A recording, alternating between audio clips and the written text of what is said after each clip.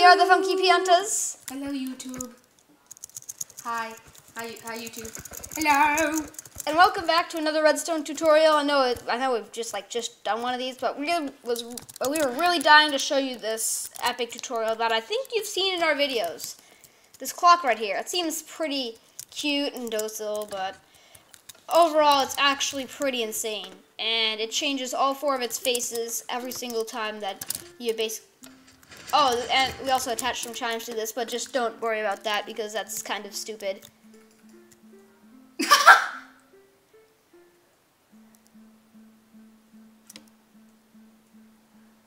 Here we go.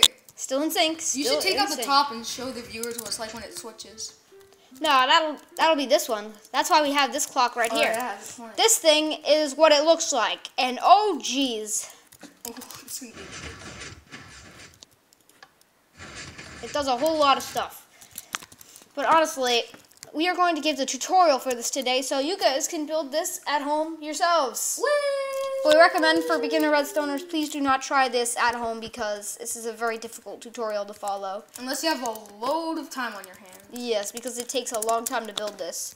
So, step one of how to build this thing. I'm going to build mine out of actual, like, black stained glass, just because, you know.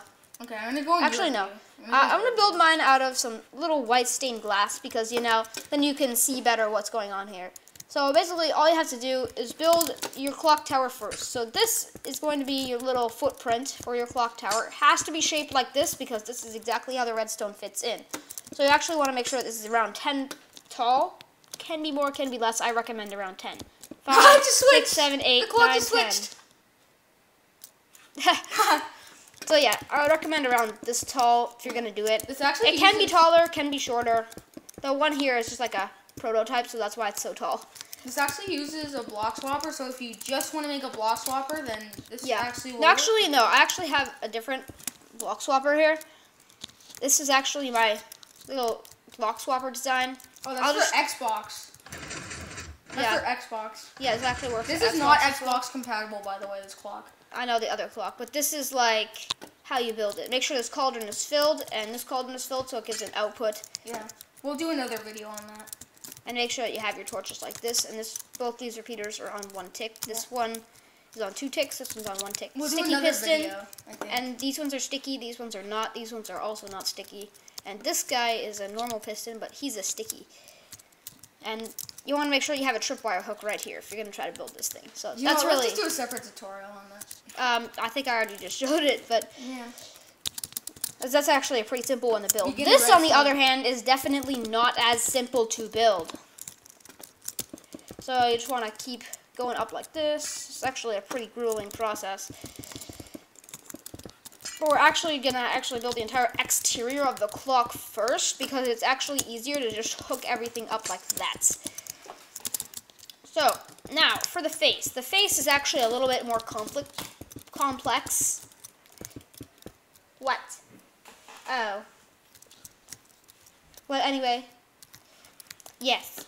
Um, Palm Dude has to quickly um, leave the room for a second, so I will be right by myself for just a moment or two. So, now for the clock face. It's a little bit complex, but I will assure you that I will make this really, really easy. So, I'm back, dude. Sorry about that. Alright. So basically all you need about this one is just a nice little Yes, I'm at Redstone School House for any weird questions. yes we are. This is this is only this is only like Temporary. this only happens like Yeah, so it goes like basically just goes like this and you have to go up three like this. this isn't every episode, but yes, I think we'll do we'll do this. Well, we do this. So you want each of your faces to basically just look like this. It's actually really, really tricky. I'll build one. Oh, there's water everywhere. There's water under my mouse. Dang it. I think your mouse got watery. Boom. What the bat is wrong with your face? But anyway, so let me quickly highlight the shape of this entire thing so you guys can see it better in the video.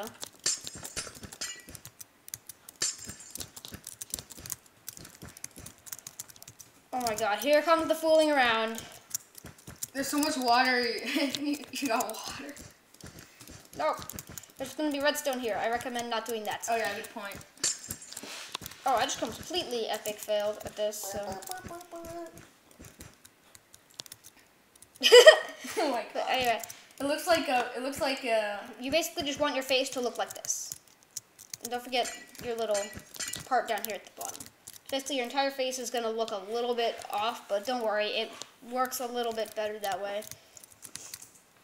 So yeah. but anyway, just summing this up, we're just going to have to make all four faces look exactly like this. Don't forget to make sure every single aspect of your face is perfect because otherwise all your mechanics will not fit. Oh yeah, not a perfectionist, so please, please me. Thank you. if you're gonna build this thing.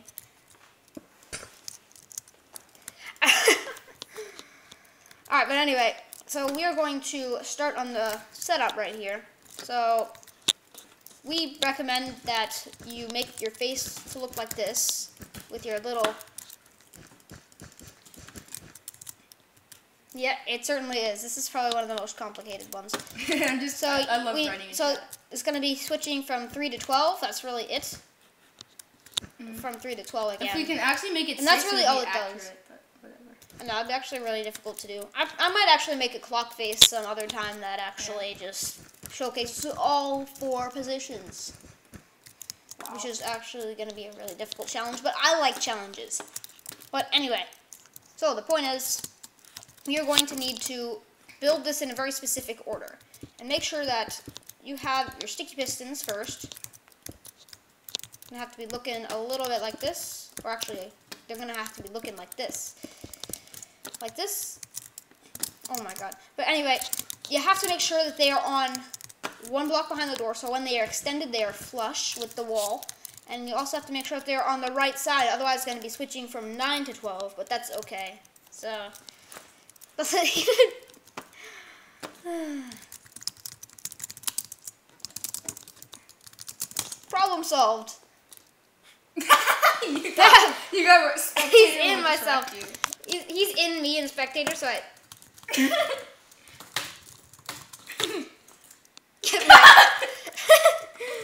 Alright, but anyway, so we are going to start our wiring. So we are actually going to do our our orange circuit. No, it's going to actually be our yellow. Oh my god, please. I'm doing a bepping tutorial. This is going to be our little... Oh my, Okay, I'll bepping. This is going to be our yellow circuit. We're going to have to line this with some redstone. That's really it for now. And we're also going to have to have another one. Another one. Like this. One. I'm not exactly sure. Oh my bepping. Wait, I think I actually have to go like two lower. Wait, how bepping low does it have to be? Oh geez, that has to go actually really, really low. Oh my god, can you please just stop being an idiot? Okay. Thank you. sorry, I just had to do that because you said yellow circuit, So yeah, we're gonna have to also have a bumblebee circuit. I quit. Alright, but anyway, we're going to have to have this thing be on almost always. Click. Clicky. So it has to go down like this Click. Click. Click. Click. Into a redstone, Click. Click. Click. Click. Click. into a two tick, into a one tick repeater, and this actually has to go over into a three tick repeater right here, into another three tick repeater right here, into a monostable,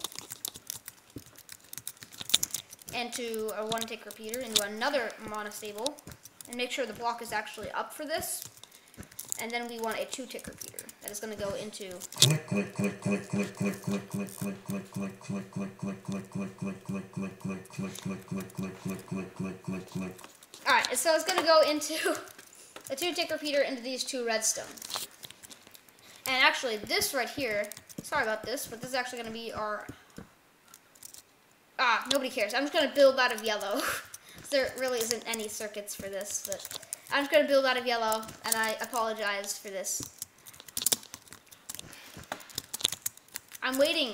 I'm, I'm, I'm waiting for some stupid comments. I, I'm waiting. Yeah, there we go. That's more like it. Alright. But anyway, so now we're actually going to place the rest of our pistons. As you can see, these are extended, and it's actually going to run into this block, into a torch right here, into another block up here. It's going to power this redstone. And we actually need one, two torches, and then one, two more, like this. So just to clarify the number of torches, because this is extremely important. So we're actually going to quickly destroy these pistons, because they are in our way right now. Yeah. But anyway, we're going to put two pistons like this, and two pistons like this. Make sure they're three blocks away from each other like this in the door frame. No, sorry, the clock face.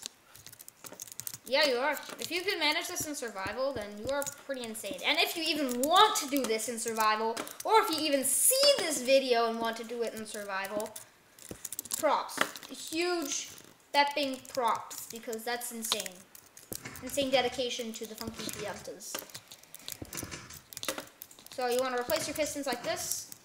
You want to basically do it all like this so that they're going to push some blocks down. And we're just going to place some of our blocks right here. So it's 12 right now. Actually, we'll just make it three just because. And we're going to put our little No, white blocks. no, Bumblebee is like 12, mate. That doesn't matter. It's just easier to do three. You want to place your white blocks like this. And you want your block face blocks like this. Then you just basically want to... Hashtag save the bumblebees. Yeah, everybody save bumblebees because they're actually really important. We won't have awesome angiosperm. Yeah, I know, right? But anyway, you want to put up your clock faces like this, so now it's actually complete. And now we actually just want to put another torch with a block on top into a two-tick repeater. And we're actually going to mirror this on every single side. Bunch of two-tick repeaters running out from this. I'm And just constantly reloading all my chunks. so weird. I So you're gonna have to have these run into monostables. Make sure there are solid blocks on top of these, and you want them to run into a one-tick repeater into a block.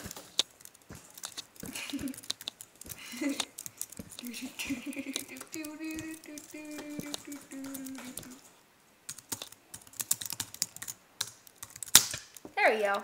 That's a little bit nicer. Alright, but anyway, just to prevent it from failing, this is kind of optional. We put some pistons right here because sometimes it does fail because this thing will be running on a clock. Well, usually for us it will. So basically now that you have this part done, you actually want to fill in the top of your clock. And I think this is, you can fill it in any way you want, but we think that this way looks best.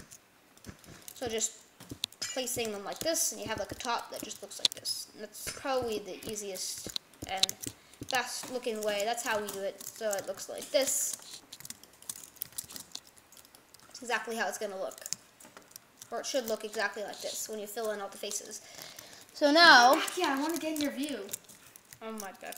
But anyway, I want So to now get we have your to- view. There we go. so now all we have to do is actually power these pistons. And this is actually what takes up most of the room in this entire circuit, which is probably one of the most insane things I've ever heard. Man, this video is gonna be long. Yeah, it's going to be extremely long. But anyway, this is like one of the most tricky parts.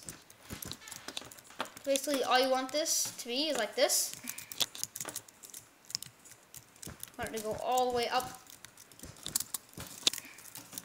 So here.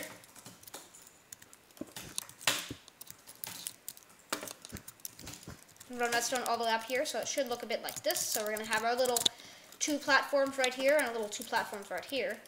And for this, you actually probably don't want glass because you're gonna actually have to place some redstone on this.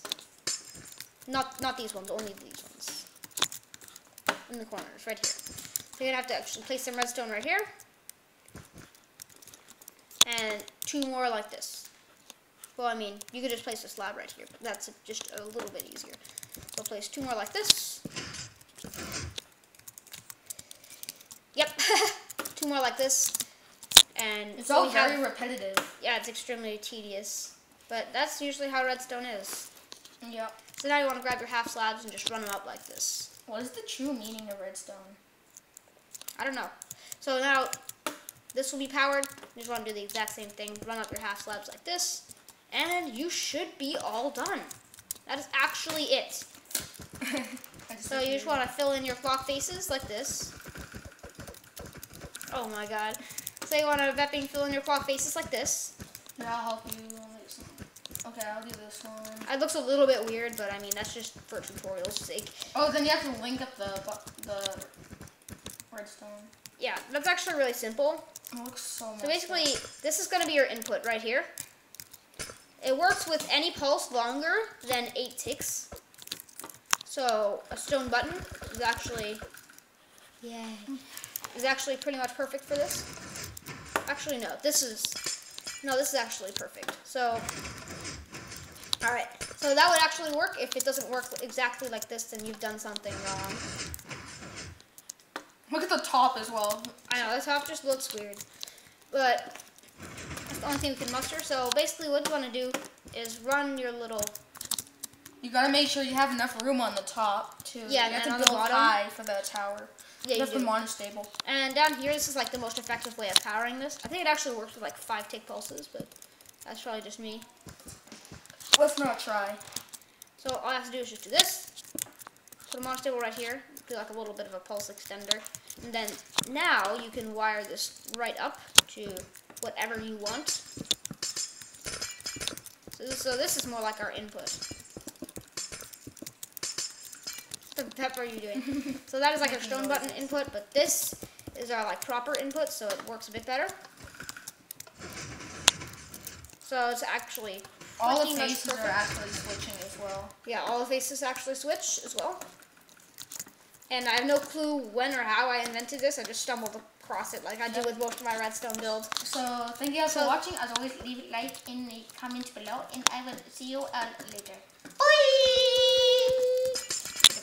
You know what we always have to end a video with in redstone? So now we're going to try to make a TNT clock. See what happens. yes. Wait, make the hands all TNT. Yeah, I'm Oh, gonna. that actually won't work. Don't do it, don't do it. Only create the block swappers for TNT. Yes. All right, here we go. on. TNT clock. Woo!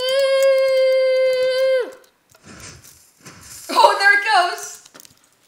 Bye, clock. Bye. no! it explodes. It was so bepping close. That was so close. But anyway, So yeah. thank you guys so much bepping, so bepping much. It means a whole lot to us for watching. And we will see you guys all later. Whee! I actually have a particle generator in this world. But why do we need it when we have Epic Pianta?